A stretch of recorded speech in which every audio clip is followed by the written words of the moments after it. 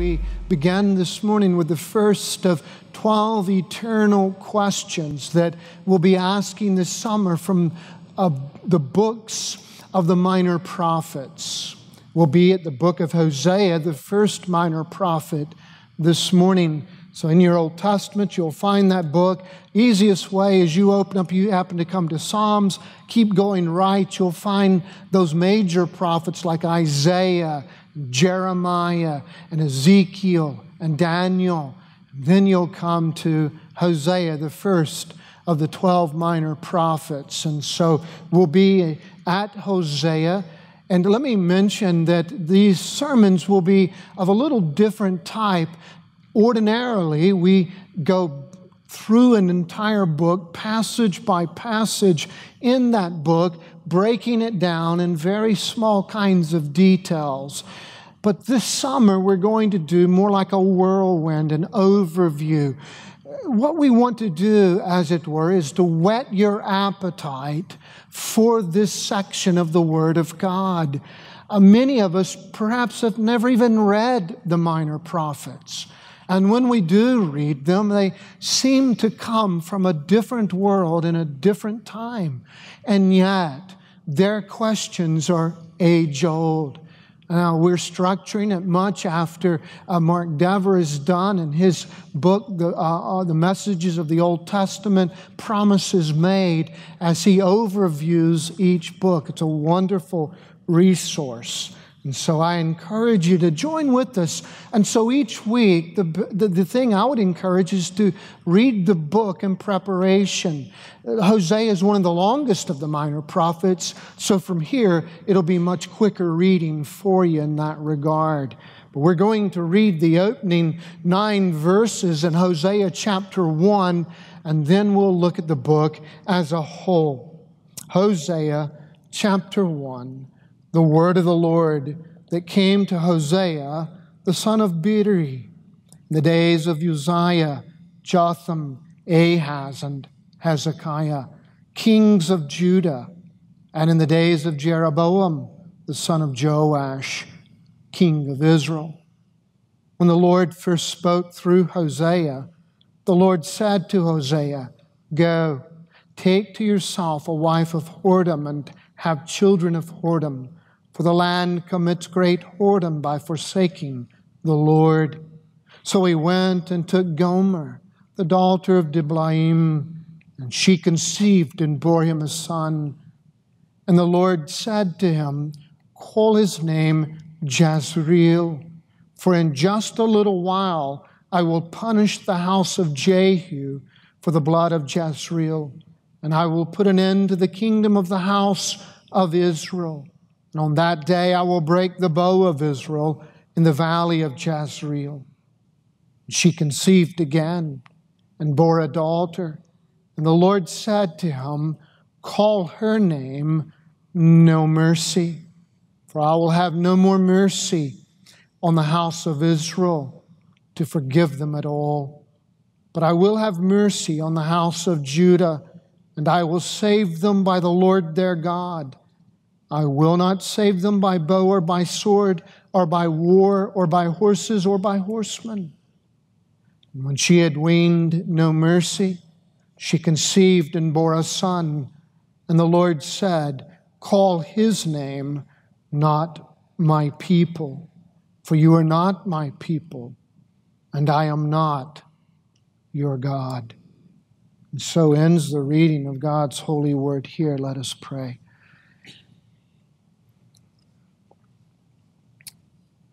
Father, may this word that sometimes seems so strange to us, may it indeed be our rule. May your Spirit be our teacher and your greater glory, our supreme concern. Through Christ our Lord, we pray.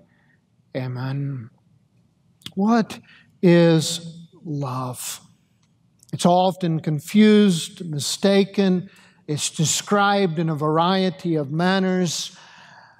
And so we ask that question what is love? And yet, Whatever else we may say about love, one thing for certain today, it is treated as the supreme value of our culture. In fact, we actually reverse, as it were, what the Bible says about God is love, and we talk as if love is God. You call something love, and you've simply justified it beyond all questioning. No defense is needed, no explanation required. So, what is it? What is love? And that's the first of those 12 questions we want to address this summer from an often neglected part of the Word of God, these minor prophets. Of course, as we mentioned in some information we've sent out throughout the week, the word or the term minor does not mean unimportant. It simply is referring to the fact that they are short.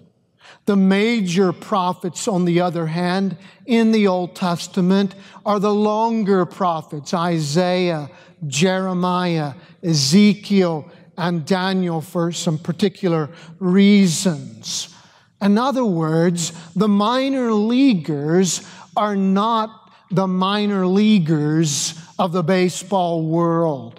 They essentially are the major leaguers of the Old Testament.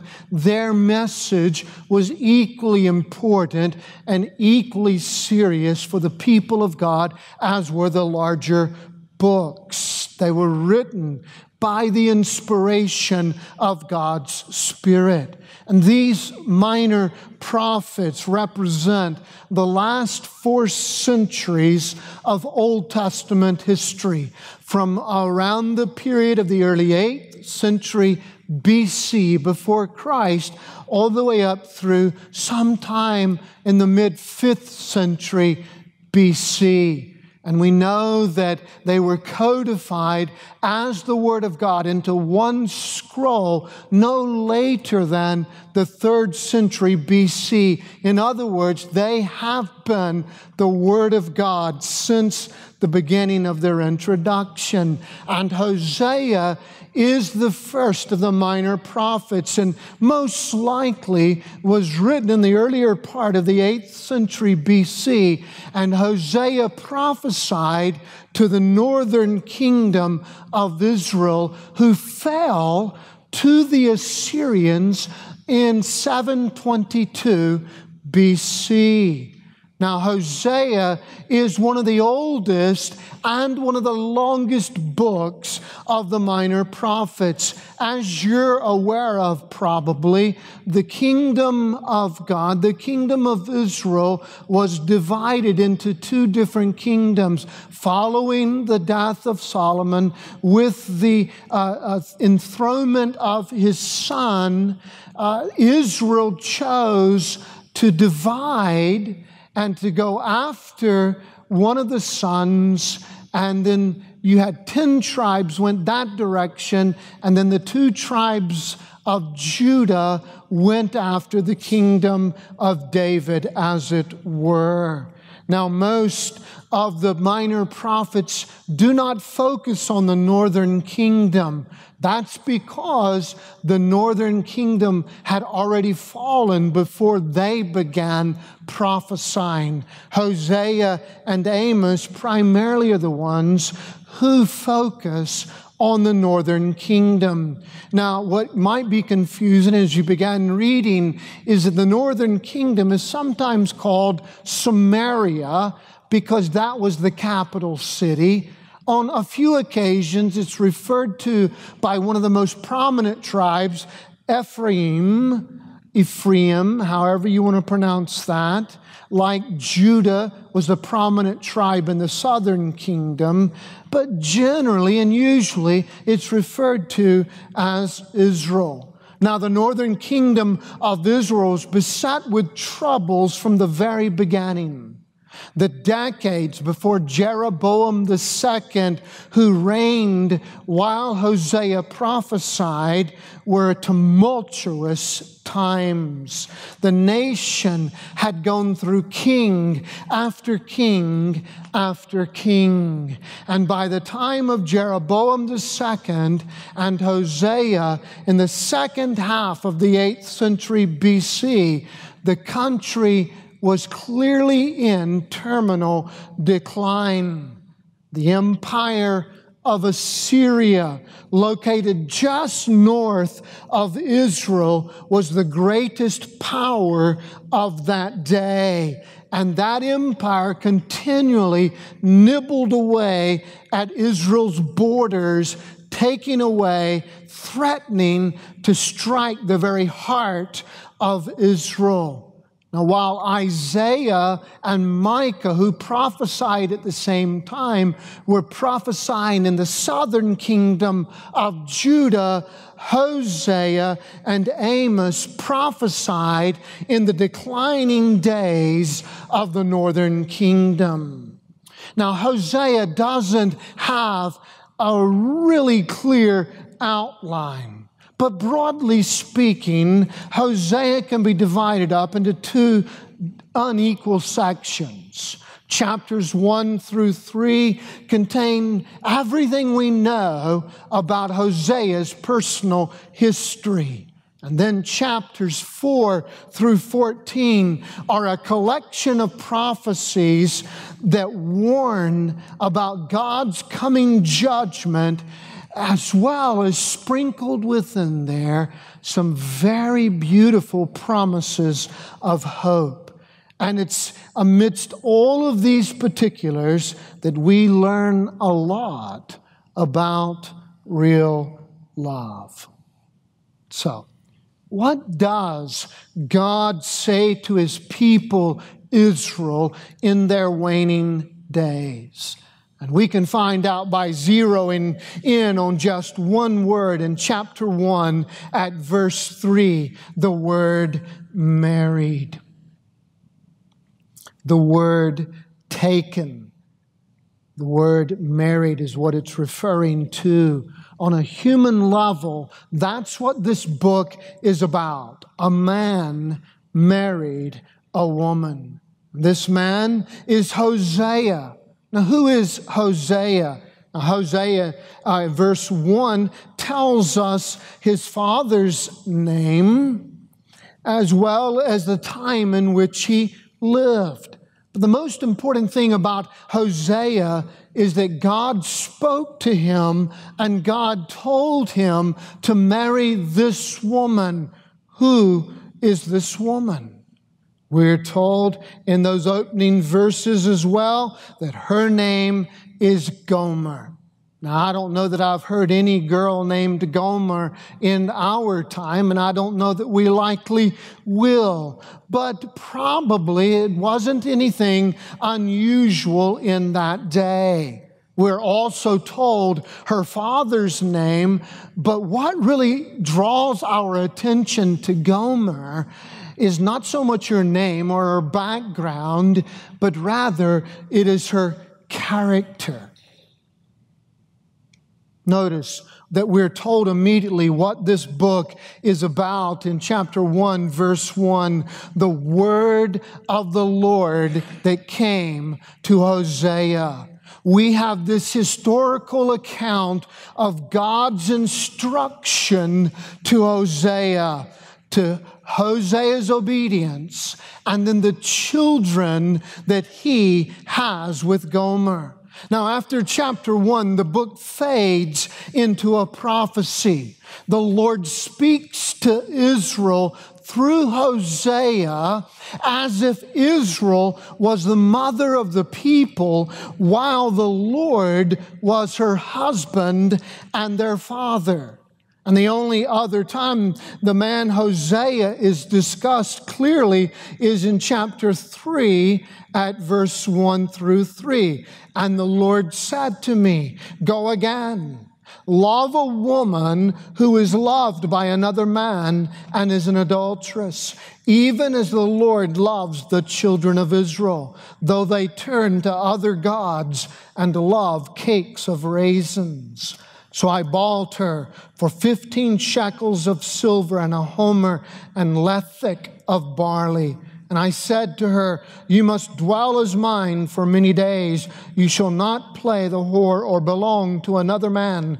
So will I also be to you.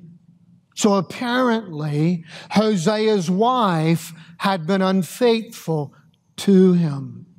Perhaps she'd even sold herself into some kind of temple prostitution. We're not certain, but whatever the exact situation was, God told Hosea to go and buy her back in his prophecies. And so we just read everything the Bible tells us about Hosea. So, what is the significance of this man, Hosea, and his wife, Gomer? Throughout the book, Hosea and Gomer, real characters in history, stand for God in Israel. In much of the prophetic portion of the book, God and Israel are personified as husband and wife, as in chapter 2. But then at other times, all the images are simply dropped, and God talks to Israel directly about himself and about them. On the whole, Hosea's prophecy is dark and menacing. It foretells a coming judgment over 100 times in this brief book, you'll find a little word will, W I L L, as God warns of the punishment that He will inflict on Israel. In verse 4, and the Lord said to him, chapter 1, verse 4, call his name Jezreel for in just a little while I will punish the house of Jehu for the blood of Jezreel.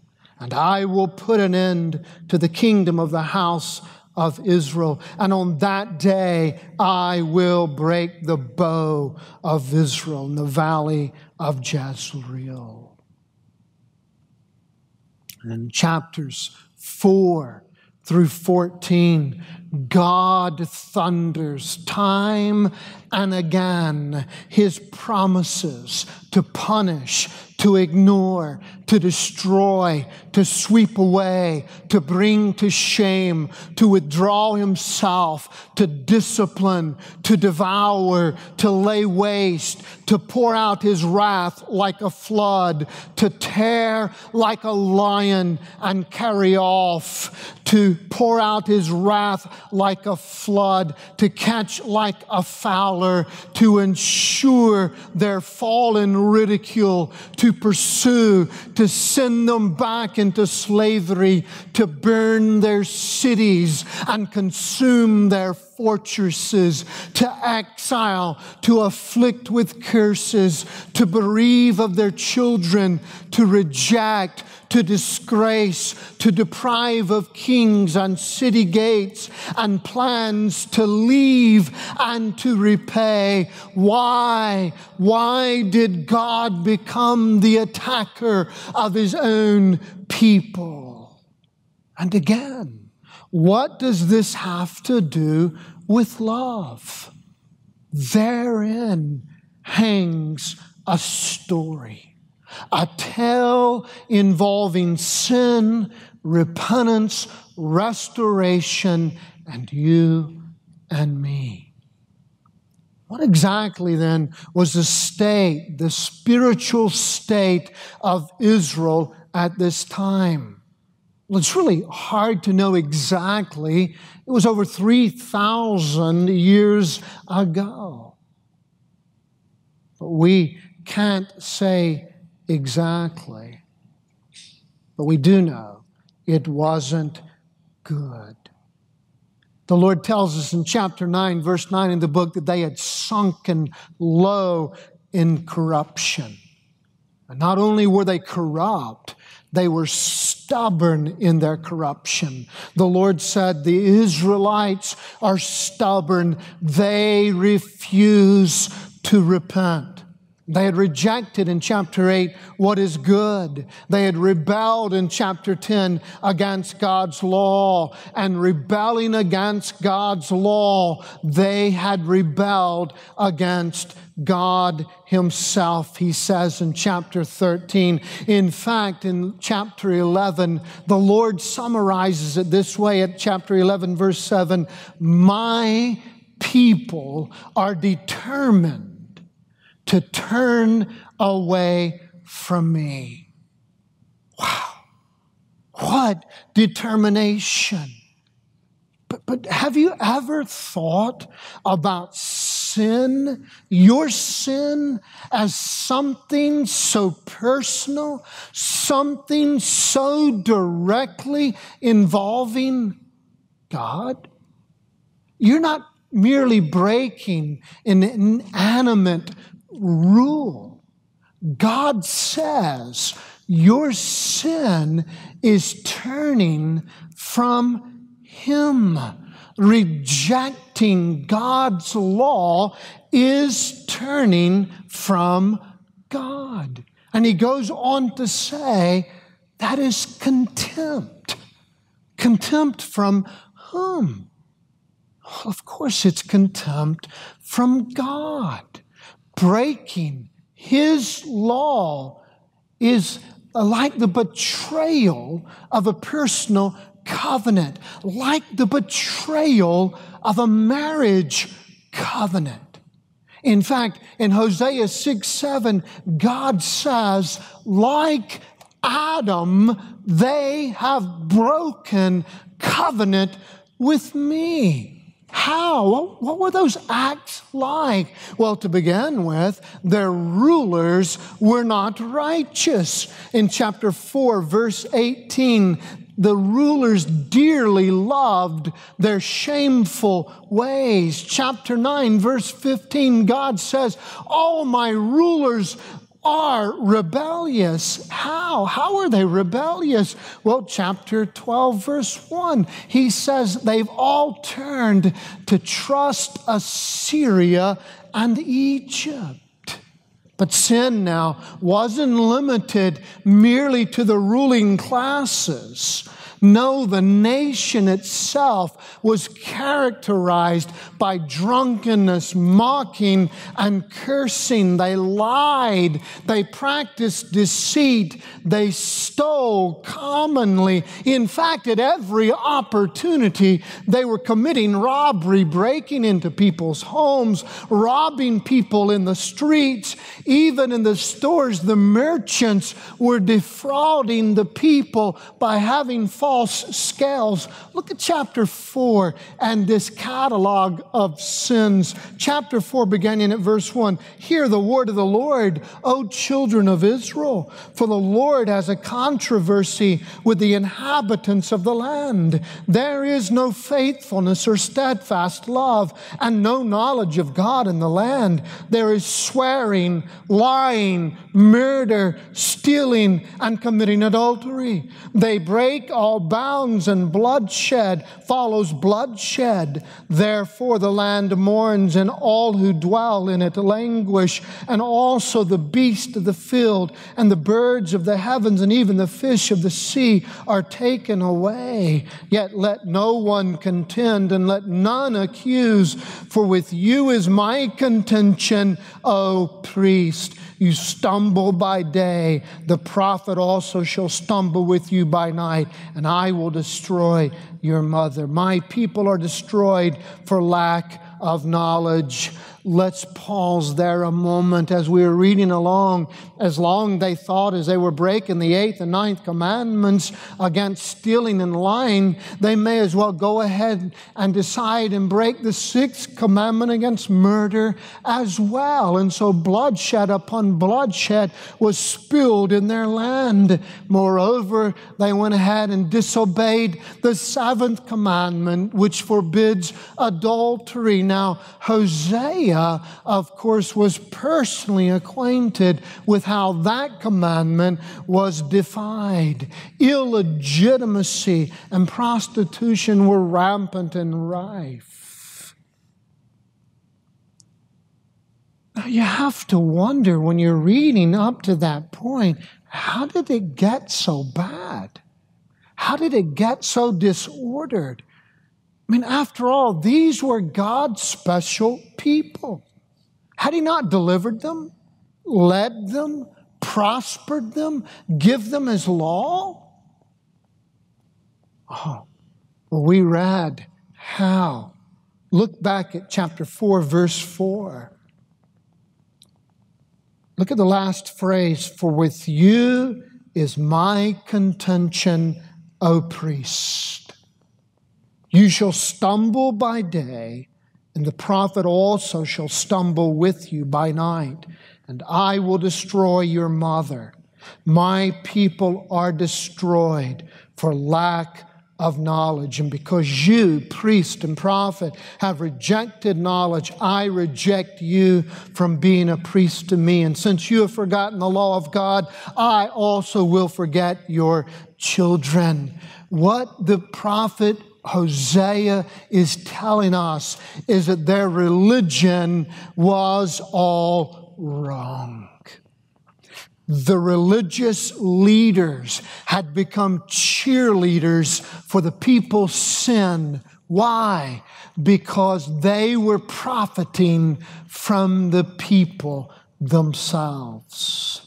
The people had become idolatrous. That's what chapter 4, verse 1 says. There is no faithfulness, no love, no acknowledgement of the true and living God in the land.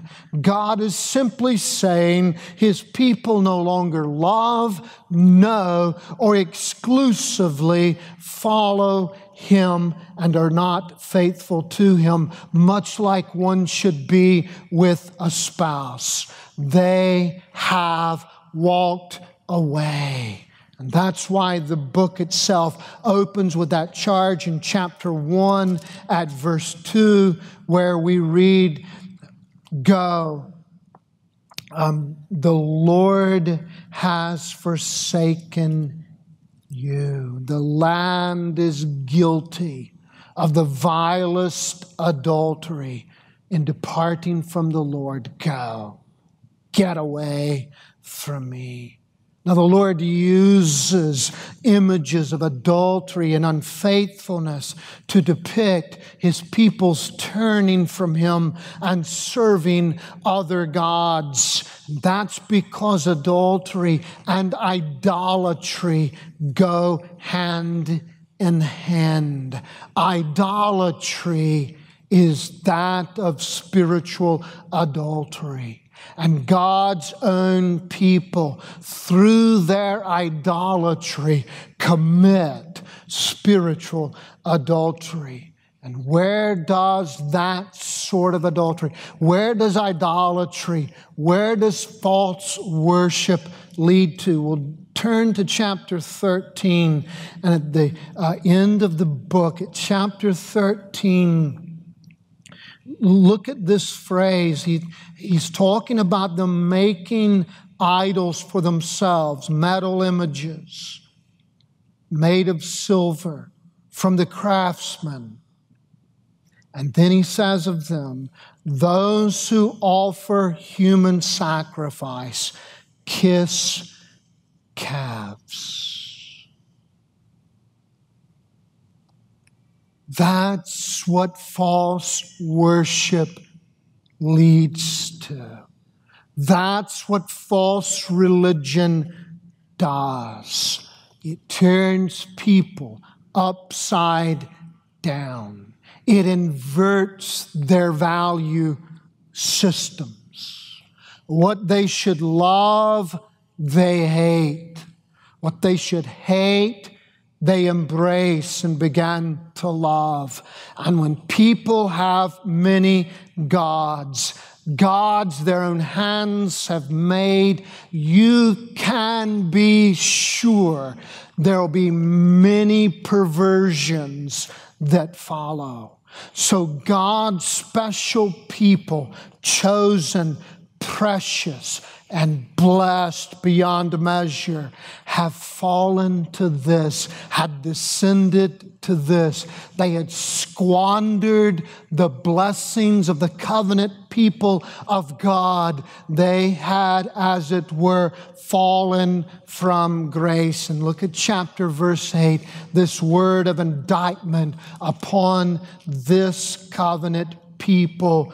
Israel is swallowed up they are among the nations like useless vessels, like a worthless thing.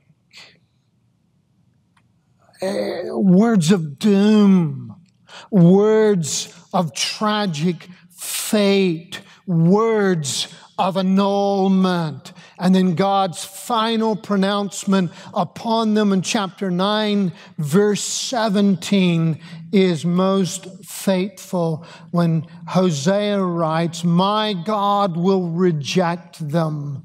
They have not listened to me. And 917, they shall be wonders among the nations the Lord spoke this word of judgment through Hosea. Those whom he had made his special people were no longer his people. They simply were among the nations. Friend, our day is not too dissimilar from Hosea's private vices abound. And as private vices increase, society itself becomes more and more vicious. What does this all mean for us as we read through Hosea and encounter these unfaithful, wrong loving, prostituting people, we must realize that Hosea's condemnation does not apply to the world out there so much. He's not writing to the non Christians out there. What Hosea is saying applies first and foremost to God's people in the church we must examine ourselves as the church and we must examine our own sins as God's people. And we must ask the question what kind of heart do I have for God? Because the real desires of our hearts are the root causes of all of our actions and the things that we worship. Oh, clearly, Hosea is reminding us that sin presents a real challenge to love. And specifically, it challenges God's love toward us. Why? Because God is holy. And so God has given this word of warning, though, that grace might be discovered. So, how can that love be recovered? In chapter 6, verse 1 through 3, love can only be recovered through that of repentance. Come, let us return to the Lord, for he has torn us that he may heal us. He has struck us down and He will bind us up. Let us know, verse 3, let us press on to know the Lord. He is going out as sure as the dawn. He will come to us, though, as the showers, as the spring rains that water the earth. Well, friend, the empire of Assyria did eventually destroy the kingdom of Israel, just as Hosea prophesied, and they did it within just a few short years of Hosea Hosea's writing this prophecy. God's threat of punishment could not be avoided. Why? Because Israel had ignored God too much. They had sinned too grievously. And still, though, God would use Hosea to graciously call his people to repentance because, get this, no sin is too grievous that God will not forgive the repenting sinner. But take note, take special note of how God's love is never divorced from His holiness. Now, when we come to God in faith in Jesus Christ, God accepts us as we come to Him in repentance. But you take note, God does not leave us in our sin. That's not the biblical picture of God's love. Rather, God's love calls us to join Him in this holy hatred of our sin as well as all sin. It is His holy character that forms and shapes His love for us. His love is the searching love of the Father, the longing love of the husband, that desirous love of the true friend who wants only the best for the beloved. That's the kind of love that God has for us. And so the call from Hosea for us today is repent, confess your sin to Him, pour out your heart to Him, and He will meet you. Yes, sin challenges love, but repentance offers the way of recovery and the restoration of love, then is our hope. Now, Hosea is filled much with warnings of judgment and call to repentance, and yet somehow piercing the darkness of these divine forebodings of doom, there brilliant glimpses of hope. Chapter 11 is stark full of them. When Israel was a child, I loved him, and out of Egypt I called my son. The more they called, they, they went away. The people turned, he keeps saying. He says, but in verse 8, how can I give you up? How can I hand you over? My heart recoils within me. My compassion grows warm and tender. For I am God and not a man, the Holy One in your midst, and I will not come in wrath. He goes on to say how that he will restore his people. Yes, the old covenant kingdom of Israel was destroyed. So, how could God make those promises? There, there, was no nationwide call of revival and fasting. There was no nationwide experience like that. In fact, as we noted, the Assyrians destroyed Israel. Yes, Israel was destroyed. But did you get these words?